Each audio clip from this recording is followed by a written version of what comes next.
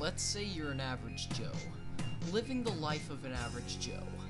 You want to get super hot suck of dick from a thick ass thot. Lamau, this is how you do it.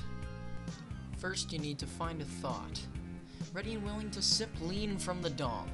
Most pimps have a thot in their suppository already. Sup shoddy. Lamau. You sick AF. Sam now. You try and throw hands, bruh. Sam now. Sip this lean, fam.